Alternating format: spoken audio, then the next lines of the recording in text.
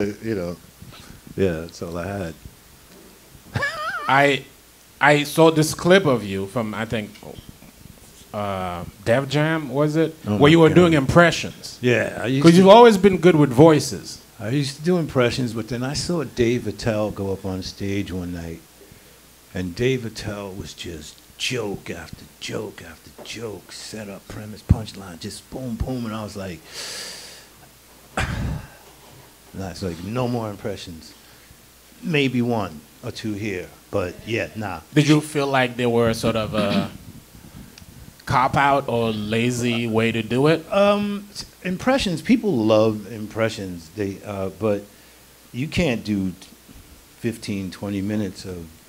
Just impressions. Yeah, After a while, it's the you know it's monotonous. I mean, it's they could be still be funny, but when you get a person that comes up here, male, female, they. it's all of these, you know, different rhythms of, of our voices, how we sound, our, our body movements, and you know, but you know, just impression after impression after impression after impression. It's the exact same thing.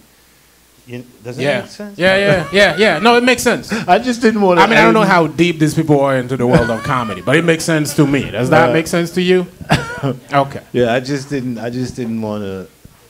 I didn't want to uh, be known as a comic who does impressions. But I think you made a really good seamless transition from impressions to now you do bits, but you still use that Yeah. talent for voice. Yeah, yeah.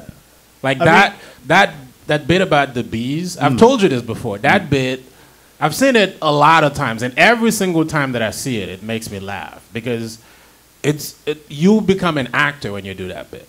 Well, that's what the thing. the thing about stand-up comic, which I think a lot of comedians have forgotten, is that um, ultimately we are actors. Yeah. You know. Um, Elaborate. Well, like for instance, like I, I I'm not gonna really be at the bar. Like I, I mean, I know, I know how, I know how I look. You know what I mean? if, if you saw me walking down the street and I said, "You got some change," like you know.